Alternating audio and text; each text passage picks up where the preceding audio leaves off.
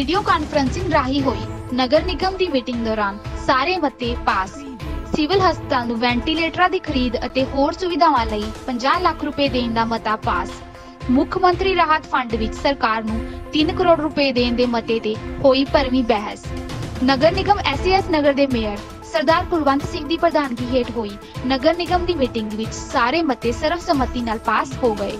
Mobile app Zoom ਦੀ ਮਦਦ ਨਾਲ video conferencing ਰਾਹੀਂ ਕੀਤੀ ਗਈ ਇਸ ਮੀਟਿੰਗ ਦੌਰਾਨ ਮੈਂਬਰਾਂ ਨੂੰ ਇੱਕ ਨਵਾਂ ਤਜਰਬਾ ਹਾਸਲ ਹੋਇਆ ਕਿ ਉਹ ਆਪਣੇ ਘਰਾਂ ਵਿੱਚ ਬੈਠ ਕੇ ਵੀ ਨਿਗਮ ਦੀ ਮੀਟਿੰਗ ਦਾ ਹਿੱਸਾ ਬਣ ਸਕਦੇ ਹਨ। ਮੀਟਿੰਗ ਦੌਰਾਨ ਪੇਸ਼ ਮਤੇ ਸਰਵਸੰਮਤੀ ਨਾਲ ਪਾਸ ਕਰ ਦਿੱਤੇ ਗਏ।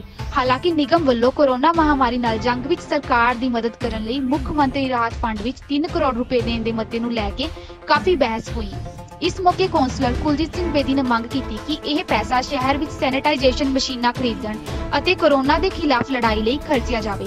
ਕੌਂਸਲਰ ਸਰਦਾਰ ਸਤਵੀਰ ਸਿੰਘ ਧਨੋਆ ਨੇ ਕਿਹਾ ਕਿ ਸਰਕਾਰ ਨੂੰ ਪੈਸੇ ਦੇਣ ਤੋਂ ਪਹਿਲਾਂ ਸ਼ਹਿਰ ਵਿੱਚ ਸੈਨੀਟਾਈਜੇਸ਼ਨ ਲਈ ਯੰਤਰਾਂ ਅਤੇ ਦਵਾਈਆਂ ਦੀ ਖਰੀਦ ਦਾ ਕੰਮ ਪੂਰਾ ਕੀਤਾ ਜਾਵੇ।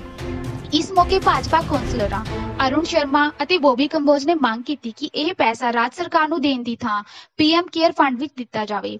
ਇਸ ਤੇ ਕਾਂਗਰਸੀ ਕੌਂਸਲਰ ਬੀਬੀ ਤਰਨਜੀਤ ਕੌਰ ਨੇ ਇਹ ਕਹਿ ਕੇ ਇਤਰਾਜ਼ ਕੀਤਾ ਕਿ ਸੂਬੇ ਵਿੱਚ ਰਾਹਤ ਕਾਰਜ ਸਰਕਾਰ ਨੇ ਕਰਨੇ ਹਨ। ਫਿਰ ਕੇਂਦਰ ਨੂੰ ਪੈਸੇ ਦੇਣ ਦਾ ਕੀ ਮਤਲਬ ਹੈ? ਇਸ ਕੌਂਸਲਰਾਂ ਵਿੱਚ ਆਪਸੀ ਬਹਿਸ ਸ਼ੁਰੂ ਹੋ ਗਈ। ਇਸ ਦੌਰਾਨ ਕਾਂਗਰਸੀ ਕੌਂਸਲਰ ਕੁਲਜੀਤ ਸਿੰਘ ਬੇਦੀ, ਅਮਰੀਕ ਸਿੰਘ ਸੋਮਲ ਅਤੇ ਵੀਵੀ ਮੈਣੀ ਨੇ ਵੀ ਭਾਜਪਾ ਕੌਂਸਲਰਾਂ ਦਾ ਵਿਰੋਧ ਕੀਤਾ, ਜਦੋਂ ਕਿ ਕਈ ਅਕਾਲੀ ਕੌਂਸਲਰ ਵੀ ਕੇਂਦਰ ਨੂੰ ਪੈਸੇ ਦੇਣ ਦੀ ਵਕਾਲਤ ਕਰਦੇ ਰਹੇ। ਇਸ ਮੌਕੇ ਹੋਈ ਬਹਿਸ ਦੌਰਾਨ ਕੌਂਸਲਰ ਹਰਮਨਪ੍ਰੀਤ ਸਿੰਘ ਪ੍ਰਿੰਸ ਵੱਲੋਂ ਕਿਹਾ ਗਿਆ ਕਿ ਇਸ ਮੁੱਦੇ ਤੇ ਰਾਜਨੀਤੀ ਨਹੀਂ ਹੋਣੀ ਚਾਹੀਦੀ ਅਤੇ ਸਾਰਿਆਂ ਨੂੰ ਮਦਦ ਲਈ ਅੱਗੇ ਆਉਣਾ ਚਾਹੀਦਾ ਹੈ। ਉਹਨਾਂ ਮੰਗ ਕੀਤੀ ਕਿ ਫੀਲਡ ਵਿੱਚ ਕੰਮ ਕਰ ਰਹੇ ਸਮੁੱਚੇ ਸਟਾਫ ਦੀ ਸੁਰੱਖਿਆ ਲਈ ਵਿਸ਼ੇਸ਼ ਪ੍ਰਬੰਧ ਕੀਤੇ ਜਾਣ ਅਤੇ ਉਹਨਾਂ ਦਾ ਬੀਮਾ ਕਰਵਾਇਆ ਜਾਵੇ। ਇਸ ਮੌਕੇ ਮੇਅਰ ਨੇ ਕਿਹਾ ਕਿ ਪੀਐਮ ਕੇਅਰ ਫੰਡ ਵਿੱਚ ਪੈਸੇ ਦੇਣ ਦਾ ਮਾਮਲਾ ਬਾਅਦ ਵਿੱਚ ਵੀ ਵਿਚਾਰਿਆ ਜਾ ਸਕਦਾ ਹੈ, ਜਿਸ ਤੋਂ ਬਾਅਦ ਇਹ ਮਤਾ ਪਾਸ ਕਰ ਦਿੱਤਾ ਗਿਆ। ਇਸ ਇਸ ਮੌਕੇ ਮੋਹਾਲੀ ਦੇ ਸਿਵਲ ਹਸਪਤਾਲ ਵਿੱਚ ਲੋੜੀਂਦੀਆਂ ਸੁਵਿਧਾਵਾਂ ਅਤੇ ਵੈਂਟੀਲੇਟਰ ਦੀ ਘਾਟ ਦਾ ਮੁੱਦਾ ਵੀ ਉੱਠਿਆ। ਅਤੇ ਮੈਂਬਰਾਂ ਨੇ ਮੰਗ ਕੀਤੀ ਕਿ ਹਸਪਤਾਲ ਦੇ ਪ੍ਰਬੰਧਾਂ ਦੇ ਸੁਧਾਰ ਲਈ ਵੀ ਕੁਝ ਕੀਤਾ ਜਾਵੇ, ਜਿਸ ਤੇ ਮੇਅਰ ਸਰਦਾਰ ਕੁਲਵੰਤ ਸਿੰਘ ਵੱਲੋਂ ਟੇਬਲ ਆਈਟਮ ਪਾ ਕੇ ਹਸਪਤਾਲ ਵਿੱਚ ਦੋ ਵੈਂਟੀਲੇਟਰਾਂ ਦੀ ਖਰੀਦ ਕਰਨ ਅਤੇ ਹੋਰ ਸੁਵਿਧਾਵਾਂ ਲਈ 50 ਲੱਖ ਰੁਪਏ ਦੇਣ ਦਾ ਮਤਾ ਪੇਸ਼ ਕੀਤਾ, ਜਿਸ ਨੂੰ ਸਰਵਸੰਮਤੀ ਨਾਲ ਪ੍ਰਵਾਨਗੀ ਦੇ ਦਿੱਤੀ ਗਈ।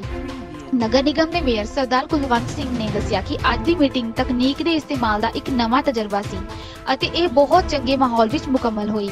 ਉਹਨਾਂ ਕਿਹਾ ਕਿ ਮੀਟਿੰਗ ਵਿੱਚ ਪੇਸ਼ ਸਾਰੇ ਮਤੇ ਸਰਵਸੰਮਤੀ ਨਾਲ ਪਾਸ ਕਰ ਦਿੱਤੇ ਗਏ ਹਨ। ਸਕਾਈ ਹੱਕ ਟਾਈਮਜ਼ ਦੀ ਰਿਪੋਰਟ